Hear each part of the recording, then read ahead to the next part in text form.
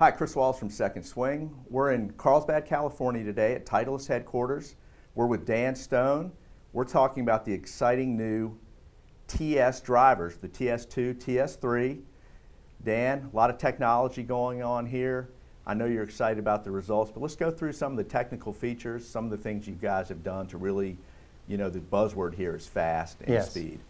Yeah, so really, you know, um, we've done a lot of cool things for it, but essentially the core, the core uh, uh, changes have to do with the crown and the face.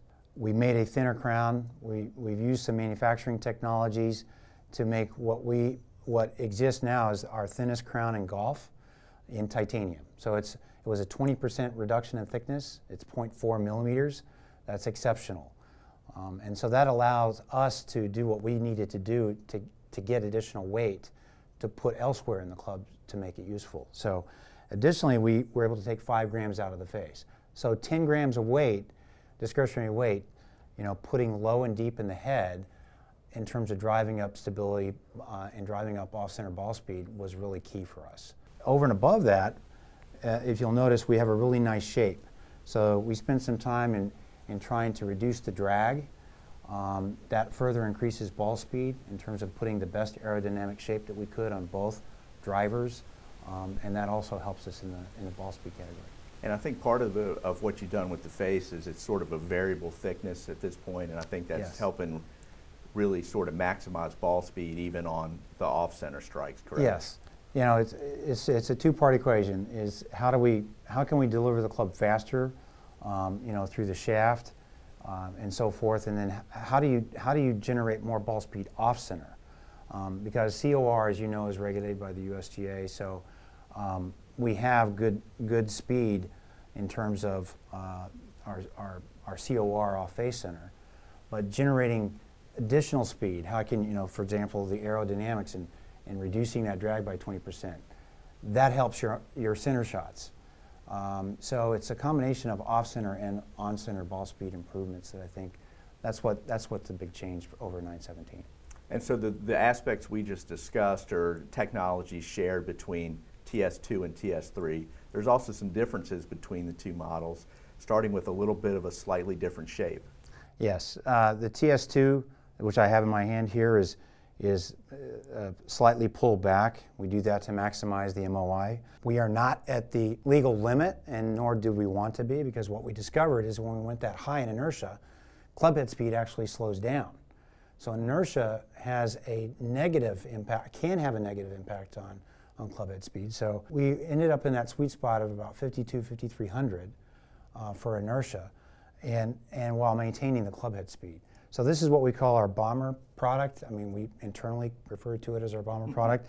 It's, it's got a SureFit weight in the back.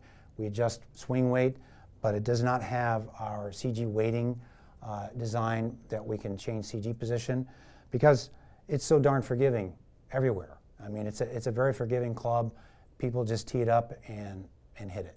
So. Yeah. And then the uh, TS3, which I'm holding, uh, the shape here, how would you sort of describe that to somebody that, who hasn't had a chance to see it? It's more of a traditional pear shape. It's very much similar to the to the D2 that we had in terms of its shape profile, very similar.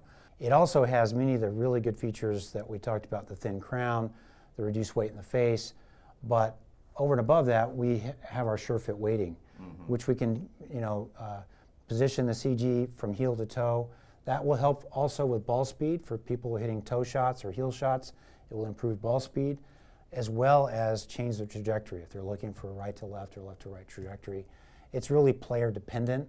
That's, that's what the fitters are there for, to, to properly fit you and to get the orientation uh, correct. Yeah, and also helping with the fitting process and what's been hugely successful for you guys is the SureFit hosel. Yes. And players are going to who have come to know like what their setting is yeah. and what the settings are aren't going to have to learn a, a new system. You know, uh, I think you, those are you don't mess with Mother Nature. Um, when we first came out with this system uh, on 910, um, it was really what we referred to it then as a tour van and a hosel. So what that means is the traditional way of bending a golf club, which was has always been done on tour, but wasn't really available to the general public at that time um, was the ability to bend loft, lie, you know, and just bend the hosel by hand. We do that with this system, and we have 16 discrete positions. Um, we do have a little card that goes with it. There's a there's a degree of complexity to it, uh, but we think that that's really necessary to have that, especially if you're going to have loft and lie independence. Uh, the system was worked well for us in the past, and we see we saw no need to change it. And I know you're excited. We talked in an earlier video about the, the ball speed gains you're seeing. Compared to 917, for instance, kind of what have you seen in terms of your own test? we've seen a on tour, for example, just starting with tour, we've seen one to two miles an hour and greater. I always like when I hear about three and four miles an hour ball speed, I'm always a little bit suspicious of that.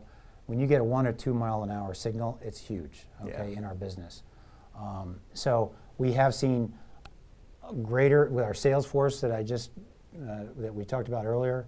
We've seen uh, greater ball speed differences, um, but in in some cases, people haven't been fit well in the past, you know, and so just fitting alone increases your ball speed. But if you're talking about if a guy's been well fit in 917 and well fit in this product, you're going to see a couple miles an hour, one mile an hour at least of ball speed, and that's really big in terms of, and and as important is the more consistency. We've made it more forgiving. So if if you're not a perfect ball striker, you're you're gonna you're gonna be happy with this product. Yeah, outstanding. And of course, at Second Swing, if you're a Titleist fan, you've been playing a 9 Series product, you want to step up, get into a TS2, TS3, pick up some ball speed, hit some more fairways. We'll take your old driver on trade, get you in a new TS2 or 3, help you play some better golf. Absolutely. Dan, we appreciate it. Thank Thanks. you.